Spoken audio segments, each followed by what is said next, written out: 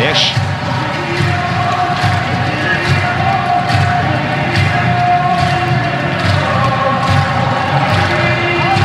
Took that in his stride, Hassan. So Connie left him to it. Nice turn by Halid Ali.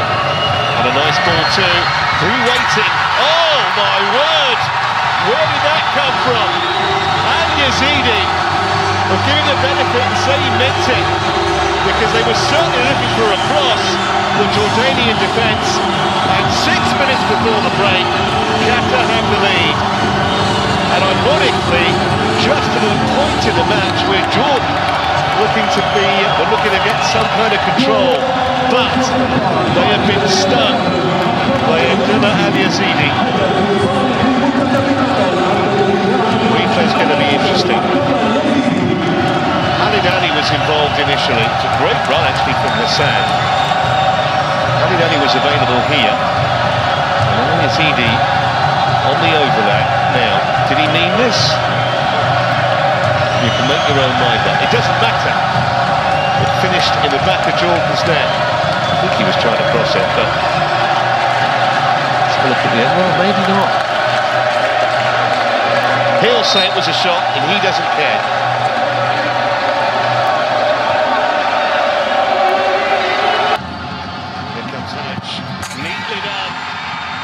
Perfectly placed into the corner. Keeper went the wrong way anyway. And Jordan are back on terms here.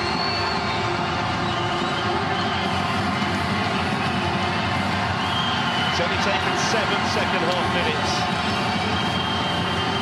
And a penalty that was seen by VAR. And they confirmed when Sivakorn Pu-udom went to the screen to check it. And Jordan on terms early in the second period. Calm and collected.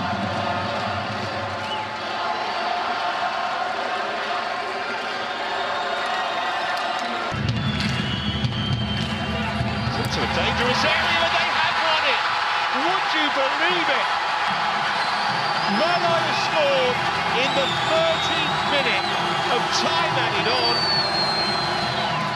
It was an excellent head header, great delivery too.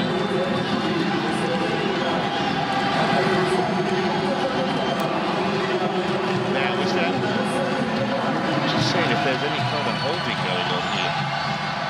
And if so, by who? Looks, looks to me is, is it offside? Very tight.